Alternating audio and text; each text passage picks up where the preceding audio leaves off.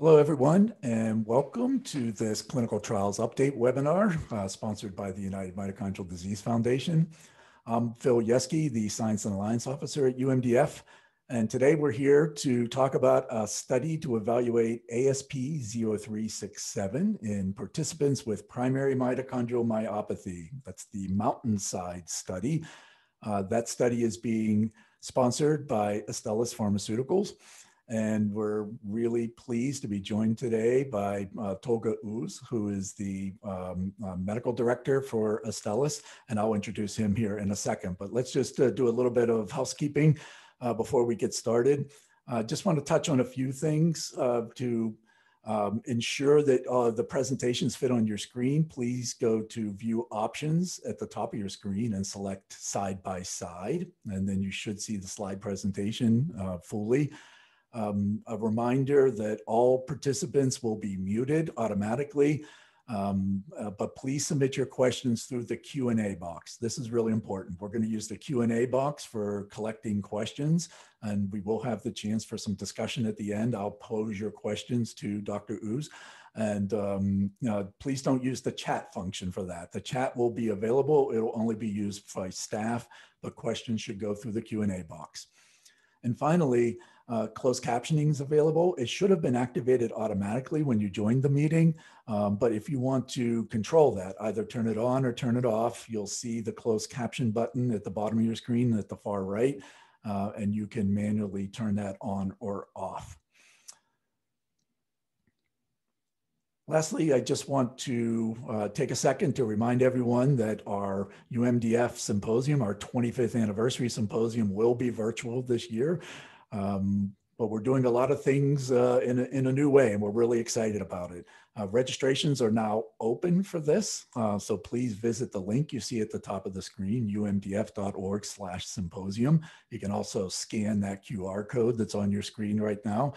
Um, and the programming will be spread over May and June. The scientific sessions, uh, two Fridays in May, two Fridays in June. Um, then we'll have a clinician session uh, on Thursday, June 24th, and combine clinician, patients, industry, sort of all stakeholders participating on Friday and then patient sessions on Saturday. So we're going to continue to build out the uh, agenda for that. Uh, again, please go to the link above the slash symposium for updates on the agenda and uh, hope to see as many of you there as possible. All right, with that, I'm going to uh, turn it over to Dr. Uz. Tolga uh, is a very experienced uh, drug developer. Uh, he's been working in the pharmaceutical industry for about 12 years, and approximately the last four of those with Astellas. And uh, he will be telling us about their clinical trial, give you some background information on it. Again, submit your questions. You don't have to wait till the end. Please put them into the Q&A. Uh, we'll collect those up, and at the end of uh, Dr. Uz's presentation, we'll, we'll do a little moderated discussion with them. So, Tolga, I'll turn it over to you.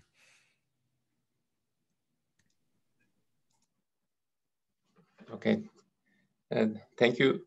Thank you, Phil. And, um, and, first, I would like to thank uh, um, uh, Phil, you and your colleagues at UMDF. Uh, it you have been a great uh, resource for us, uh, starting from the, our earlier conversations from the MitoBridge time, as well as uh, um, the UMDF FDA um, the workshop we had in September 2019 with the participations of some of your community members. And it, it, has been great uh, help and support for our study, connecting us to uh, your community and uh, support our um, activities. And thank you again. Um, I would like to first, um, let me share my screen.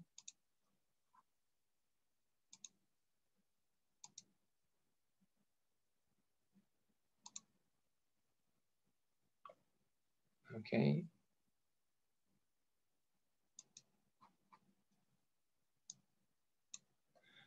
Okay, um, first, I would like to uh, um, uh, present briefly, give uh, um, some information about Astellas, our mission, and uh, our uh, uh, program, which is about the start. Actually, we are very excited uh, um, we will we are targeting to screen the first patients uh, fully within this month. And, um, and, and, then I will provide you some um, updates about our study. Here's our disclaimer. And um, uh, this is our Northbrook offices in, located in, in, in, in Illinois, uh, in US. Um, Astellas, uh, uh mm, following the, uh, uh, the corporate vision of being on the forefront of healthcare change to turn innovative science into value for patients. Um, it's Astellas is a global pharmaceutical company headquarters located in Tokyo with more than 100 years of drug development history and operates and, and, and, and run the development activities globally.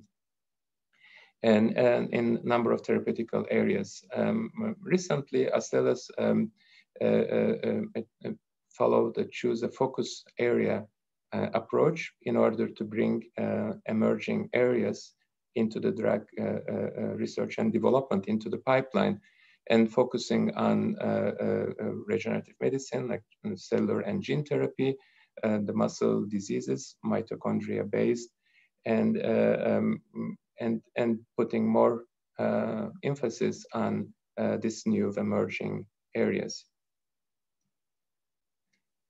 Here are some uh, numbers about uh, um, uh, Astellas, and, and, as I mentioned, that uh, operating uh, globally uh, with a large number of employees and and and being in in the, in the medium-sized company operating globally. So, as a part of our focus area um, approach, um, Astellas has been uh, working closely with MitoBridge and acquired in 2018, bring, brought MitoBridge to Astellas family and uh, um, in, order and, and identified just uh, uh right after identified mitochondria uh, research and development as one of the five uh, primary focus um, area. This um, enabled us to came all the way to this point Uh, uh, is in this example to, to support the development of diverse pipeline of preclinical programs and advancing them into a uh, um, global clinical development pro, uh, platform. So basically, um, we are using the, the, the, resources of a, a, a big pharma on uh, development, regulatory, and with the marketing capabilities, and in order to move forward the mitochondria research and development field. So this is uh, this has been Astellas's uh, uh, um, and, and, and commitment to the field. So I would like to talk uh, briefly about uh, our compound. That's why we are here today to provide you some updates. We have uh, presented again this in, in the past in uh, uh, like Phil was mentioning earlier in the previous UMDF uh, symposiums and the forums um, um, created by um, UMDF. Um, um, our compound is a PPAR delta modulator. These are a new um, class of uh, specific PPAR uh, uh, targets, and it has been an outcome of long um, research and uh, um, we are targeting um, fatigue and exercise intolerance in uh, patients with primary mitochondrial myopathies. So uh, briefly about uh, PPARs, peroxisome proliferator activated uh, receptors. Uh, these are a nuclear receptor family with uh, multiple isoforms. Here our target is a delta. These are uh, uh, these receptors act as, as transcription factors and control wide range of biological processes by regulating uh, gene expression and leading to uh, improvement in muscle health and function. Mm, what basically we are uh, uh investigating whether um, uh, our compound ASP0367 um, can turn on the PPAR delta pathway and, and, and up to the potential uh, benefits on the muscle function and health. Basically, um, um, as I uh, mentioned in the previous slides, um, as uh, nuclear transcription factors, uh, they regulate when they are uh, turned on, they, they regulate the expression of number of uh, genes within the cell and, um, and, and leading mitochondria using fatty acids and, and more often and, and generating more mitochondria in, in the cells and, and bringing this uh, um, fatty acids uh, and for ener energy production and uh, um, improving overall muscle function. So the um, where we are at uh, uh, at the clinic uh, with this R compound, we have finished the phase one single and multiple ascending dose studies in healthy volunteers, and and that um, favorable profile of the compound led us to move the um, phase 1b and phase 2 3 studies with our compound. Uh, we have two uh, uh, ongoing parallel uh, programs, activities uh, with this compound, targeting two myopathies in which mitochondrial functional deficits are either primarily or secondarily involved in disease pathology. First one is uh, Duchenne muscular dystrophy study. It's a phase 1b study. Uh, we recently screened our uh, first patient and just started. And the second one is uh, today what we will talk more in detail is uh, phase two, three study uh, for primary mitochondrial myopathies.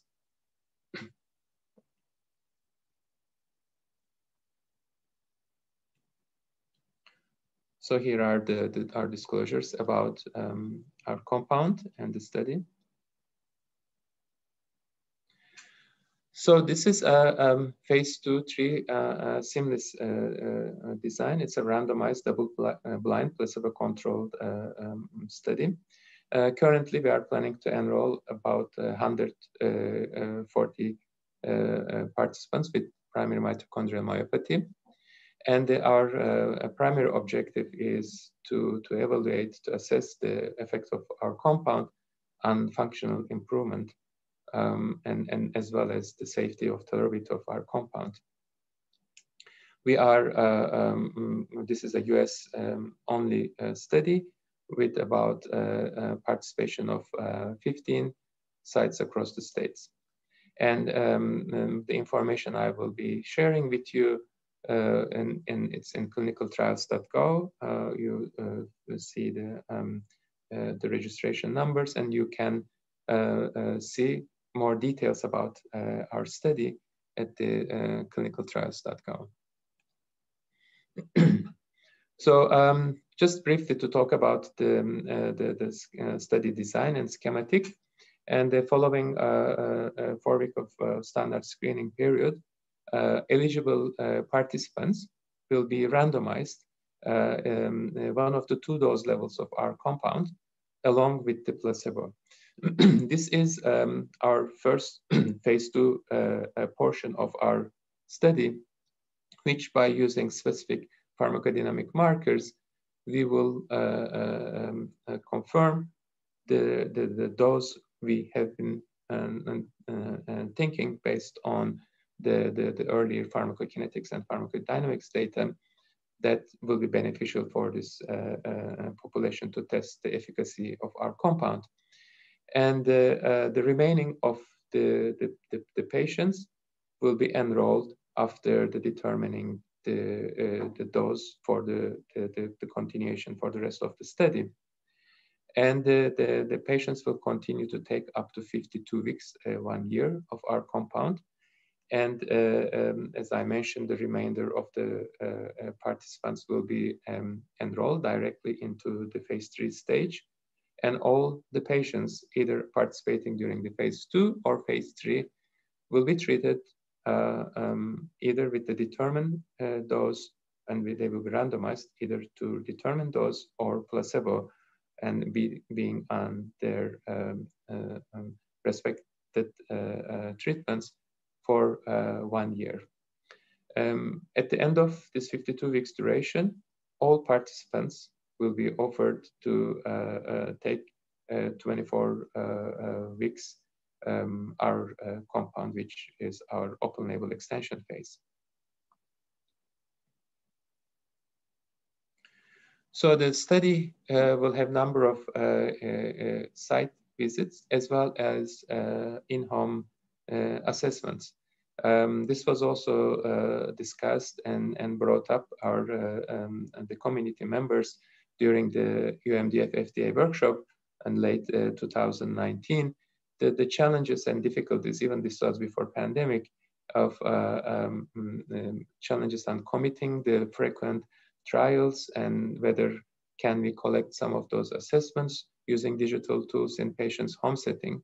So uh, um, uh, this feedback and were, were very um, helpful for us uh, in order to design our study. Of course, later on, the, the, the merging of uh, a pandemic uh, uh, even um, potentially could create more challenges for these participants even to make to our study. This is why we have tried to design a balanced study with some um, study site visits and some home assessments um, in order to uh, accommodate and overcome some of these challenges. And at the site visits, what will happen? Just the regular uh, um, observing of the participants' health uh, with uh, some blood and urine tests as well as ECG, and uh, and also collecting some information about uh, uh, how do they feel and how do they think through some scales and quality of life surveys. Um, and also we will perform at the site our primary endpoint to test whether our compound uh, how it, uh, it affects the mm, uh, functional, motor functional outcome in participants with six minute, mainly six minute walk test. At the home setting, we have, um, mm, we were, as I mentioned, we will be using some digital tools, both video and audio, and, and, and, and collecting information from the, the patients in their home setting with a designated window uh, uh, of, of, days, number of days uh, throughout the study, um, their motor function as well as um, um, their feedback and, and, and their evaluation of their symptoms will be collected throughout the study. So uh, we have again a detailed uh, uh, inclusion exclusion criteria at the clinicaltrials.gov. Uh, you can also always discuss this with your um, uh, study physician as well as the participating sites. That uh, website has the all information um, about the participating site and investigators in US for our study and uh, um, you can always consult and collect more detailed information. But briefly, uh, uh, our target age window is adult subjects, 18 to 80 years old and, uh, and we require a, a, diagnosis of primary mitochondrial myopathy uh, confirmed with uh, um, genetic testing. And uh, we look for um, uh, nuclear and mitochondrial DNA mutations, which are known to be associated to mitochondrial myopathies. Of course, we are looking for uh, um, symptomatic um, mm, the myopathy as a symptom for um, uh, as a main symptom for the primary mitochondrial myopathy uh, um, uh, diagnosis. And also, of course, since we will be measuring the um, motor function as our primary um, outcome measure for the study um, through six-minute walk test, we require also uh, participants being able to uh, perform this test. And we have some specific criteria around this test. And uh, you will be uh, uh, informed and you will have uh, opportunity to discuss this with the study investigators if you choose, choose to uh, participate to our study. And also we have certain uh, exclusion um, and, and criteria Uh, so that uh, to, to, to help us to evaluate our primary and secondary uh, outcome measures appropriately uh, uh, throughout the study. Again, this will be reviewed and, and communicated and uh, with the study investigators. So your eligibility for the study will be confirmed through this criteria. So this is uh, uh, my last slide and we can uh, discuss and, and I'll be as much as I can happy to answer also questions about our study. Um, as I mentioned throughout the presentation, there is more detailed information uh, with the, uh, the clinical trials uh, registration number of 04641962 in clinicaltrials.gov website. Um, you can also um, reach us through the information you see on the screen uh, and the, the, the, email and through email or, or phone calls. Um, but uh, um, we will be uh, uh, using, as uh, Phil mentioned, there's an upcoming symposium in a few months, uh, um, bringing more updates and news um, through the, the platforms UMDF is providing us. And um, we will be um, talking more about um, our study and the progress. Uh, thank you again for all your uh, uh, feedback during the, the preparation of our uh, study. Uh, it has been extremely helpful and we will be continue to listening uh, and your feedback, which we believe is very crucial, um, especially for the rare diseases for drug development thank you again, and I'll uh, stop here and uh, uh Phil um, I can give back to you the microphone. Very good. Thank you so much, uh, Tolga. That was, was really helpful. Um, you know, it's such an exciting time for our disease community to see more companies, uh, more sponsors interested in, in developing drugs for, for primary mitochondrial disease. Um, I think it's uh, also important to just emphasize that this is, of course, an investigative new drug. And I know you included yes. on your slides, but it's just really helpful to remind everyone um, yes. this is still a drug in development. It's not available um, in any other way. Um, Astellas is uh, uh, leading uh, this uh, drug development uh, process, and the whole point of clinical trial is really now to prove out that there is uh, both a safe drug and an effective drug. Um, and so, Tolga, maybe we could just kind of briefly talk about the design of the uh, of the study. I don't think we need to have your slides up um, uh, necessarily, but just um, kind of reflecting back on the fact that this is a phase two slash three trial um, and, and, and, perhaps people are, are, familiar with the drug development process and that it moves through phases that really transition yes. from determining safety to uh, dosing levels to eventually efficacy and, and, and, these sorts of things. But phase two, three is a, a little bit different than, than some of the other trials. What, what are some of the advantages of running this as a combined phase two, three trial? Yes. So um, um, mm, uh, as I mentioned that uh, the, the first portion of the study uh, was uh, designed to confirm the, the dose levels.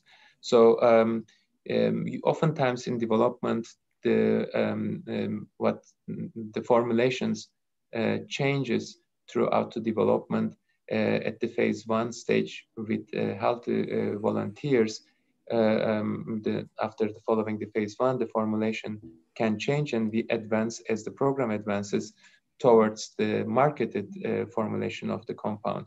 So uh, we had a, a, a thorough evaluation during the multiple ascending dose phase with the healthy volunteers, uh, meaning that what we do, uh, we correlate pharmacokinetics of the compound with the pharmacodynamic assessment could be a, a surrogate marker or biomarker right. and, and in order to give the, some information about the potential window uh, uh, of the of the dose level, uh, the compound may be ready to demonstrate the efficacy, to test it, study the efficacy.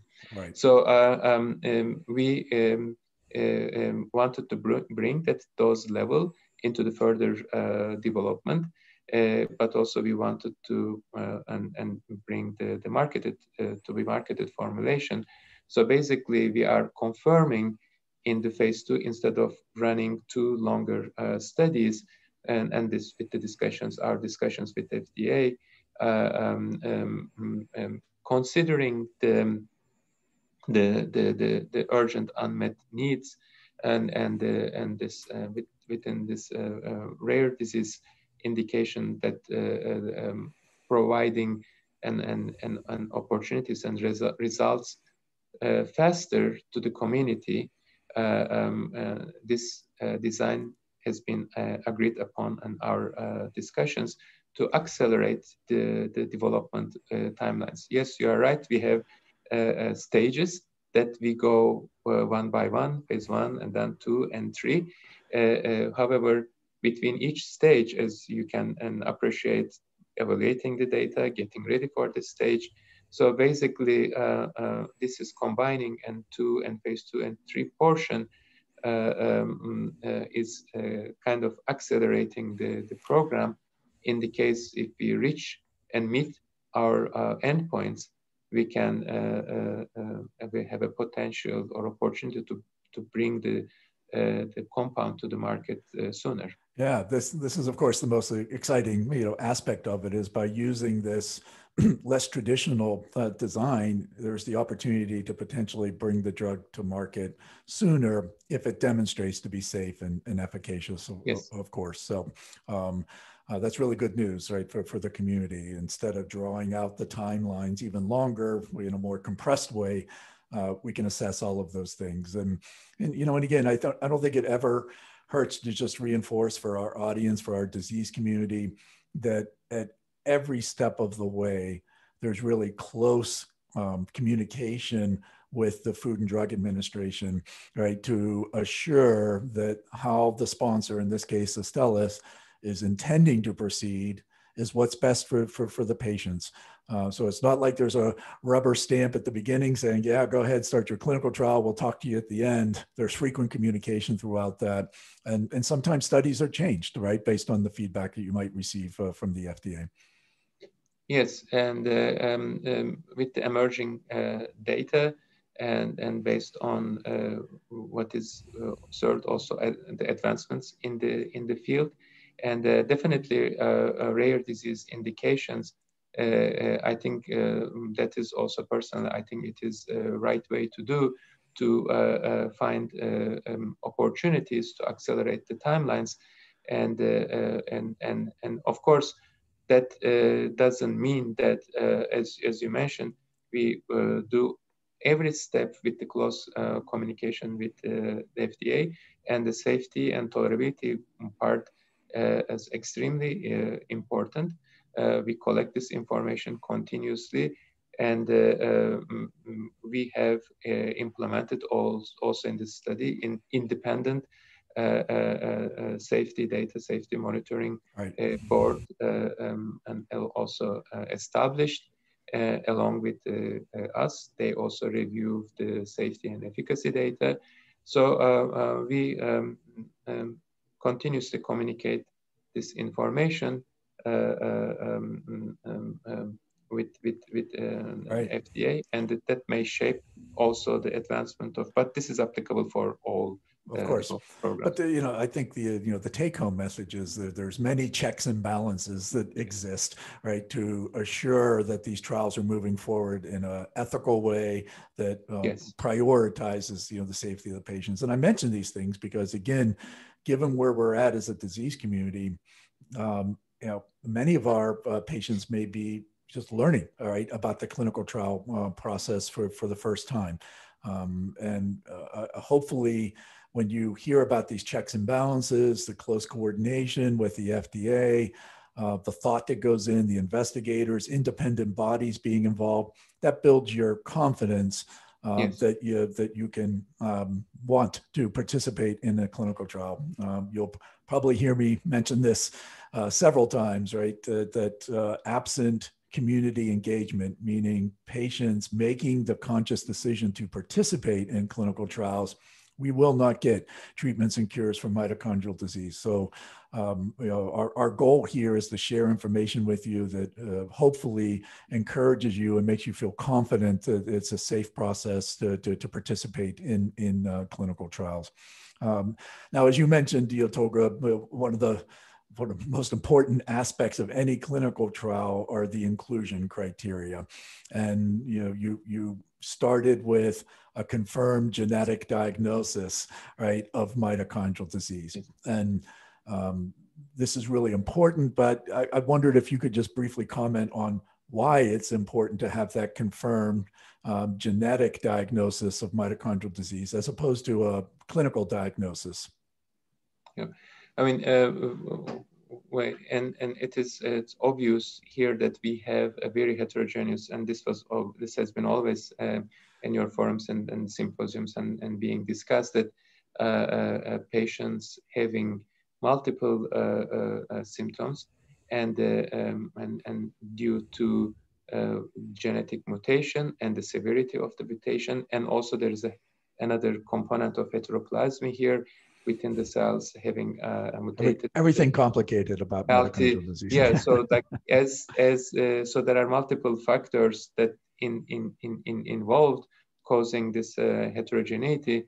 So um, and sometimes it uh, it uh, gets on your way to uh, um, evaluate your um, outcome measures proper, properly.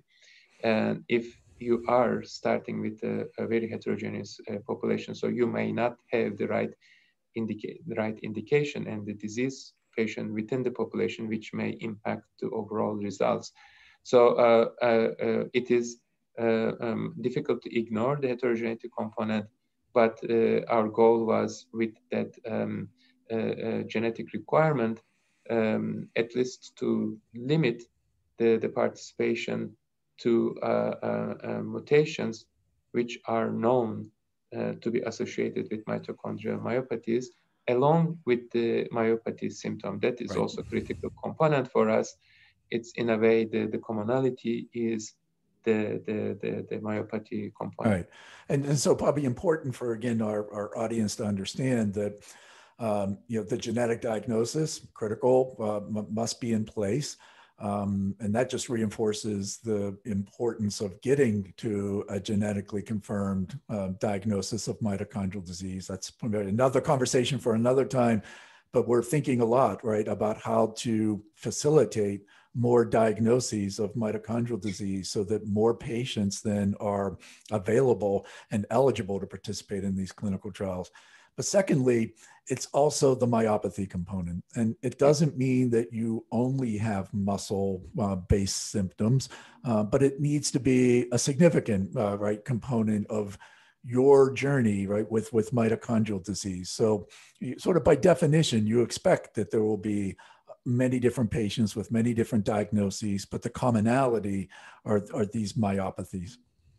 Yes and, and that's what will be used and, and judged as the, as the primary endpoint is the ability to improve those symptoms. And the six minute walk test is, of course, uh, you know, familiar to this community. Has been used in other uh, clinical trials, uh, but um, uh, fundamentally, uh, Tolga, fair to say, this is the sort of the best validated instrument that we have for assessing how someone might be improving if they're taking an intervention is their capacity for being able to walk further in a defined yes. period of time. Yes, it has. It has been uh, um, uh, even even though it was not uh, validated for this particular uh, indication or clusters of, of the, the syndromes, uh, um, um, but however has been uh, successfully used in other neuromuscular disorders, and um, mm, currently uh, uh, Uh, uh, considered as a, a primary endpoint uh, by also the regulatory bodies in, in, in our studies. So we are doing a quite work around that um, about the six minute walk test, uh, the, the standardizing the test across the study sites, right. uh, having a close uh, training to the site. So with the goal of implementing this test in a standardized way. As I mentioned, we have a number of uh, um, sites so then we can implement this in a standardized way. Right, very important. Um, I want to thank uh, uh, those of you that uh, have already submitted questions through the Q&A. Um, uh, capturing those over there, and I'm going to get to those in, in a second, and I want to encourage others um, to submit through the Q&A box if you have uh, questions you'd like me to pose to, to Dr. Uz. Um, so maybe just briefly to follow up on that primary endpoint being uh, the six minute walk test and judging a patient's ability to walk further uh, and, and, show improvement um, while, while on the drug. But there are secondary endpoints or additional endpoints you're collecting. And you briefly mentioned this, but I, I want to just call this out because I, I think it, it comes to patient centricity, which I know is very important to Astellas. You have a whole department, uh, you know, named yeah. this and dedicated to it, but it's about you know designing drugs but also making sure that you're designing trials that are meaningful to the patients that you're trying to help so some of these secondary endpoints um, like fatigue and quality of life um, um, those are well known but maybe you could just briefly describe some of the video based digital assessments that, that you plan to use because that that really is um, uh, interesting new development and uh, really gives the patient a chance to literally show right to you know, to to the sponsor uh, the difference of what this what being involved in the trial means to them. Yes, I mean uh, yes. Uh, uh as as you mentioned that um, um, we are uh, uh, part of um, um, our um, this the focus area approach and this emerging areas. of course, one of the challenges are the not having mature or established uh, right. endpoints. Right. And uh, uh, that was also um, um, part of the, the whole efforts that Astellas are, are, are taking the, the, the, patient centricity and to basically bring the input uh, uh, through uh, organizations like UMDF and connecting to patients. Um, this is also part of the, the, the, um, the, now common interest of regulatory bodies as well to what is important to patient and whether are we are we measuring what is important to the patients and why the patients are coming to studies what symptoms are bringing them to the clinical studies so um, if we understand this more uh, uh, that will help us to design better studies and better outcome measures this is why um, um, your contribution or your communities and the, the patients, caregivers, families' contribution is uh, uh, um, extremely important, providing that feedback us. I remember that you have uh, some your community members had your our synopsis reviewed when we were first uh, uh, working on the uh, study. we got very useful feedback from there. Um, and that's how also this uh, video assessments came to the, the picture. Uh, uh, as I mentioned earlier at the FDA UMDF workshop, which uh, our team uh, found it extremely uh, useful and beneficial. And you see a lot of impacts of it on our current study design and protocol, um, having um, your community members articulating that the the challenges uh, uh, um, providing uh, some test outcomes frequently through frequently visits and at the study sites. Right. so um, of course, the test like six minute walk test requires on-site study site assessment but um, we are developing in the meantime some uh, alternatives or supporting to this concept of how we can evaluate motor function with uh, uh, uh, video recordings, working our colleagues at Casimir, which they presented also in your forums before, right. um, implementing some of those their tools that they were using earlier in Duchenne muscular dystrophy studies, that um, how patients' activities like going up the stairs or walking, going up to, from the sofa, uh, um, and, or compensatory movements and the quality of their movements, how it is being impacted, and how that can be converted to a, a numerical outcome so we can statistically analyze the data uh, at the end of the study, compare our compound right. to placebo. And, and also we have this um, interviews that uh, um, in our your symposium uh, we mentioned last year at the screening and, and during the, the exit to collect patients' feedback about the treatment, their experience about the study, and the, the impact of the, the treatment on their um, quality of life. So uh, um, it is, uh, we are collecting that and we have also individual activity assessments, uh, basically um, how uh, their daily activity is impacted right. by their most bothersome symptom because it might be different for each uh, participant, even though uh, fatigue and muscle weakness are common, but there are also other symptoms individually due to specific mutation can be more uh, important to certain patients. Right. Yeah, and you know, of course, we've had a you know number of efforts related to building out the patient voice.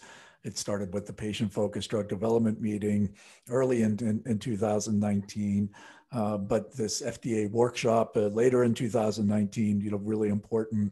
And all of that is centered on understanding the burden of the disease, right, for our patients, uh, but also what what do idealized treatments look like? What's meaningful to yeah. you? You know, if um, if you're able to uh, cook dinner for, for your family and previously weren't, right? It, it, you know, that's a, a, meaningful outcome.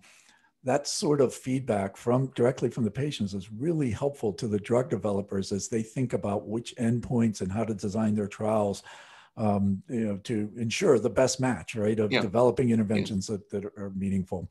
Uh, I'm going to turn to the questions here uh, from the Q and A.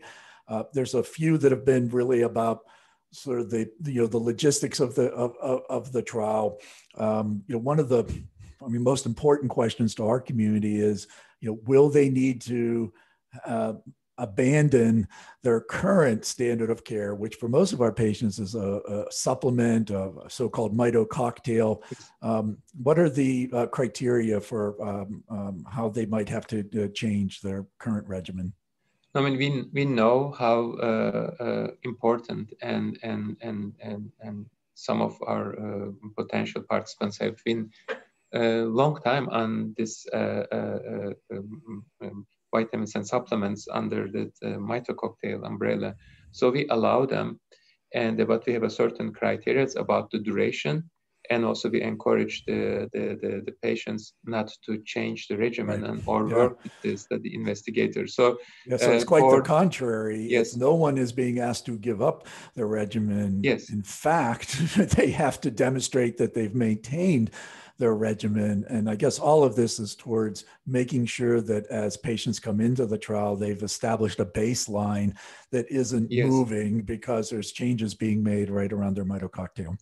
So that is extremely uh, important, and uh, that also participates from all. Um, when, when it's important that how when we analyze the data, so the stability of the patients, and uh, if you have a certain exercise regimen, to keep the same regimen. If you have a mm-hmm. certain use of um, supplement regimen, keep the regimen, because um, if we have this, all these variables are keep mm, mm, changing and adding, so it will really impact when we analyze uh, the data. So it may, um, so it, it may, um, uh, we cannot uh, um, uh evaluate properly uh, right. the data. Any, any by, good study design, you don't want to have yeah. too many things changing right, at one time. Yeah. So, I mean, we highly encourage our participants to uh, discuss these topics um, and, and issues with the study investigators. We are working with, um, um, these are not commercial sites, these are very respected um, academic centers and, and academicians are study investigators and uh, well-known investigators in the field with years of experience with the mitochondrial disorders. So right. they uh, are uh, um, uh, familiar with the uh, uh, current uh, um, um, regimen of the, the treatments, right. and they will um, guide you based on the requirements of the protocol. by the way, we developed this protocol with them with their feedback. Right. So this is why it should fit to the um, our participants' needs and their lifestyles because we continues to build that feedback into designing uh, the study. So, yeah, so that's I probably the, the, yeah. the, most important, you know, nugget there from, from what you said is that it, it's very much a conversation that needs to take place between the patient and their healthcare provider, right? About their mitochondrial disease, the symptoms they're faced with, you know, the diagnosis, um, but also that's the best place to assure that you're following the regimen that's necessary that could make you eligible uh, for, for a study like this. So uh, please do um, you know, discuss it with your doctor. And if your doctor is not one of the uh, study participants, uh, we can always help facilitate that contact to one of the investigators from that.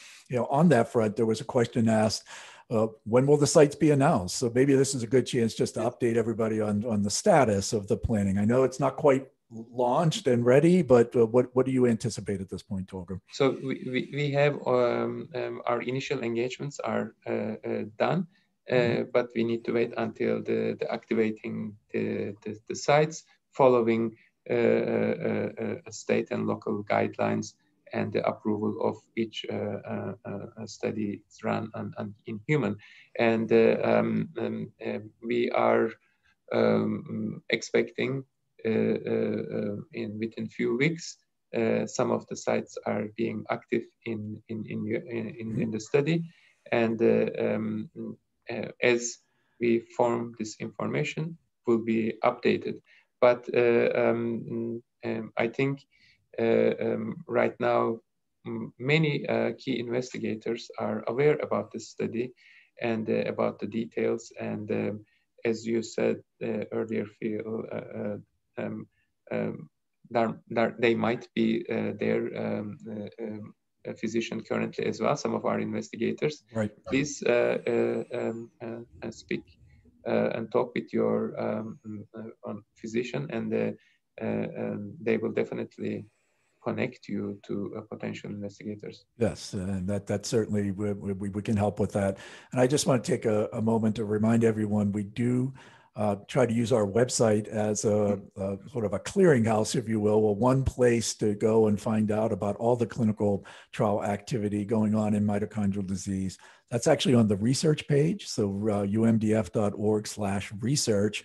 There's a big button at the top that says clinical trials. That will take you down then to a section that has all the active or um, let's say active, not yet enrolling, uh, you know, trials. So all of those that are either clinically active or very close to, to being launched. If you then click on any one of them, there's additional information about the target population, which give you an idea of eligibility. But most importantly, there's then a direct link from there to clinicaltrials.gov because that is the one place uh, that's official. Right? The, the, sponsor will update the information on clinicaltrials.gov, um, and uh, that way we're not constantly having to refresh it on our own page as changes are made. Uh, we encourage you to start there, move to clinicaltrials.gov for the latest information on the sites that are involved or, or any other changes associated with it. Uh, there was a question uh, asked by uh, one of our participants today. So, you know, this is a tablet, right? So it's being taken orally. Um, but you know, many of our patients may have trouble with swallowing. That's one of the you know the symptoms that uh, many members of our disease community have. Uh, will it be possible to crush the drug, or you know, do, uh, do, you know, make a change like that, or will they have to swallow a tablet to, to be a part of the protocol? Uh, yeah, uh, the, to to take the the whole uh, tablets, and it's comparable actually to the um, uh, the other um, uh, supplements or uh, mm-hmm. vitamins right. Are, right. The, the, patients are taking. Um, um, um, we do not have those studies yet that that may impact the absorption of the compound, and so that's that's um, um, we are uh, asking to, to to take the whole tablet. So so at this point, they would yeah, have to take point. it it is. They wouldn't be able to mix it with, uh, you know, food or, or you know, something else. Uh, at, at, this point, it would be the requirement of being able to swallow the, the tablet as it is. And that, there are more detailed uh, um, information that will be communicated uh, with the, the, the, participants during that uh, uh, um, first interaction and, and or, or going through the, the eligibility and requirements. Right. So um, um, more details will be um, communicated through the um, in study investigation. Yeah, just the, uh, you know, another uh, reminder that it's the conversation between you with your healthcare provider, your physician, who then, you know, if they're not actively in the trial, can make sure that they know the, the latest information uh, to, to make a determination of whether you're a good candidate to, to participate in it. They'll appreciate your uh, sharing that. Um, not surprisingly, um, I think our patient community would want to know, you know, in a uh, a randomized placebo-controlled trial, right, there is the possibility that you're actually not on drug, right, that you're in, in the placebo arm, and this is really important for being able to separate out, you know, who responds and who doesn't. But um, talk a little bit about how you are sure that everyone has access to the drug in the trial eventually.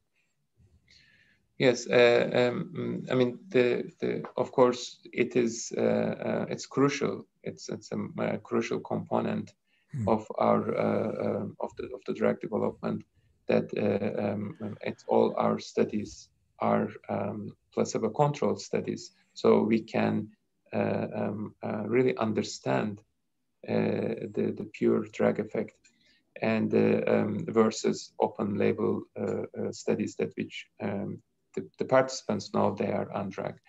And uh, um, um, um, however, we have open label extension part, as I mentioned uh, um, during the presentation, of uh, six months after uh, um, our, our, treatment, double-blind randomized treatment, that um, subjects, all participants will be offered to, to participate with the, our compound to open label extension uh, phase if they choose to do so. Yeah, so it's a, uh, it's a choice, uh, but all participants would have the opportunity, right, to um, go onto the drug for this 24 week period. Yes. And and I realize we're probably getting a little ahead of ourselves, but if the phase three data were starting to look positive and there was an indication of uh, of efficacy, is it possible that open label extension period could be further extended beyond 24 weeks?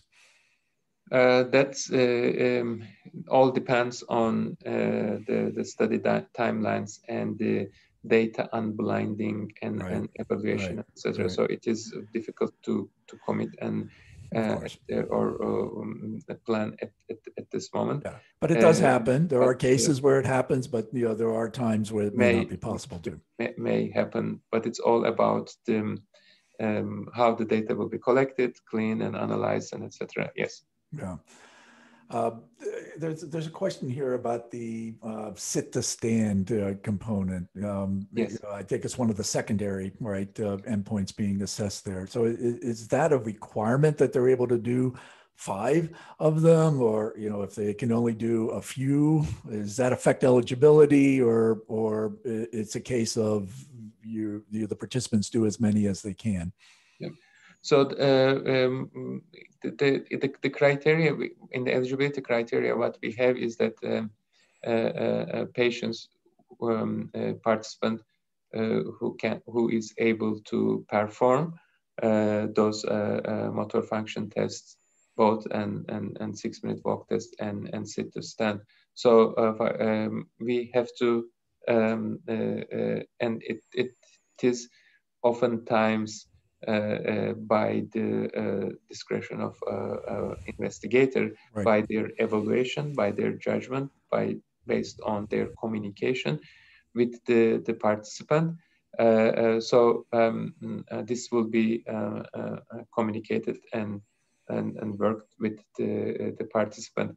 The, the reason we added the, the another motor function test uh, again to innovate towards to, to um, mitigate or overcome a potential challenges with the, the six minute walk test. It's a highly variable test. And uh, despite the fact that it's being often frequently used, but uh, there's a big variability. Um, it has been also demonstrated from the previous uh, uh studies. And uh, this is why um, mm, um, I think the community felt the need that to add other uh, motor yes. function tests, as well as also uh, this video assessment that I mentioned earlier. Right. right. So all, that, all supportive of finding yeah, efficacy. Yes, right? altogether, yes. Yeah, so uh, last call for uh, questions. We're going to be wrapping up here uh, soon, but if anybody um, still has a question, pop it into the Q and A. Um, um, but uh, there was a question uh, posed here, uh, Tolga.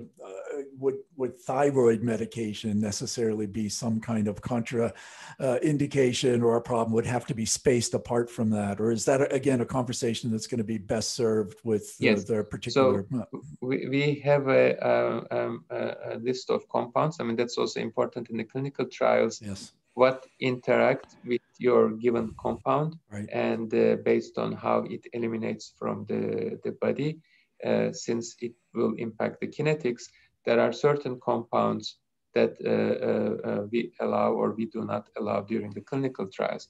So, uh, um, and we are aware that this population has uh, um, based on the number of symptoms they are dealing with, unfortunately, a number of uh, uh, um, medication.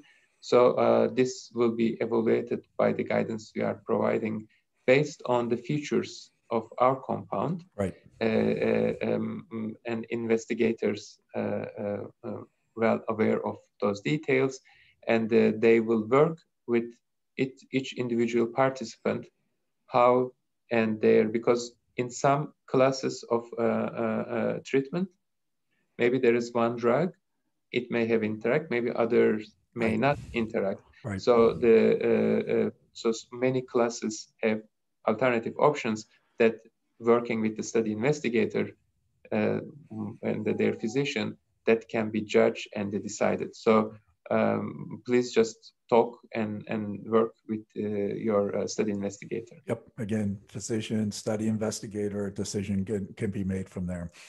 So in, in, in wrapping up, I'd, I'd really like, I'd like to end with a, a, kind of a call to action, if you will, for, for our patient community. Uh, you know, it, it's again, it's exciting. Clinical trials are here; they're getting started. Um, I, I, know I have contact to a, a lot of different you know companies that are even thinking about coming into the space. So I expect there'll be even more activity in, in the coming years. That's all exciting, but it's really about what we do now, right? To to to play our part in having a, a success ultimately it comes down to the drug itself and its ability to be proven safe and and, and effective. Um, Tolga, I, I know in, in chatting with you before this that you, you've you've had the honor of being involved with drug development programs that have been successful, that have actually gotten a drug to market for other diseases, not in mitochondrial disease. And I'm wondering, you know, is there anything from your experience base that you know would be helpful for our patient community like what are the attributes what are the activities of of of disease communities that are beneficial right? That help kind of move the process of, of, along. I mean the, the, the, feedback is extremely important especially for the, uh, the, the rare disease indications. Uh, for the common diseases you can find uh, a lot of public information and the sources that uh, it can help your uh, development program. But in uh, um, in the these indications that natural history studies are not well done and there is no public available information. So this is why um, it's extremely important these activities you are uh, uh, launching that uh, bringing the, the, the, patients and the community together with the industry members and, uh, uh, and the academicians and the, the clinicians. So um, there can be this information exchange right. to support, uh, so then it, it, it can help us to better determine what we will measure in our studies based on what is important to patients. So I will highly encourage your community. Uh, uh, you are the great. You are providing these uh, platforms but uh, it will be great if they come and participate. Uh, uh, we will be extremely helpful yeah. Well, I think that that really, you know, we've we've talked a lot about how to create a culture of clinical trials inside mitochondrial disease, and and one of the most important things that that patients can do, uh, peer-to-peer communication, just sharing with others that you know, you know, may have potential benefit uh, from from from this trial. You know, tell your friends, your your fellow uh, Mito patients about opportunities like that, and spread the word. You know, know that UMDF will be here doing everything we can to spread the word. Um, of course, patient registries are always an important part as well uh, in recruiting for clinical trials. And we're really excited that our, our new patient registry is going to be uh, opening in the next uh, one to two weeks. We're just putting the final touches on and really encourage everyone to join be a part of that and know that um, whatever we're gathering there, it's all with an eye towards developing treatments and cures to benefit the mitochondrial um, disease community. So these are a few of the things uh, that you can do yeah, individually to be involved in clinical research and help us get to these um, much needed treatments and cures for mitochondrial disease. Uh, you know, Tolga, I can't thank you enough for, for making the time today. I'm glad we were able to uh, provide this platform to share information. It's very much a story still in development. It's the, you know, yes. we're, we're almost there and, and it sounds like uh, some additional details will be coming in the weeks ahead. Uh, just one last time um, uh, for our audience, you know, always you know, feel free, come to the UMDF website to the research page where the clinical trials are listed. You can click through then to clinicaltrials.gov. We also provided that direct link in the in the chat box. Uh, this is where the most up-to-date information will be. But as soon as we're aware that uh, sites are actively recruiting, I'm sure there's going to be some messages going out uh, through our normal channels. Uh, so, so again, uh, Tolga, thank you again for your time today. And uh, with that, I'm going to uh, wrap this up, and we look forward to joining you again soon with more uh, yes. Uh, exciting details about not just this trial, but other drugs that are in development as well. Have a good day, thank everybody. You, thank you, Phil, for the opportunity. Thank you.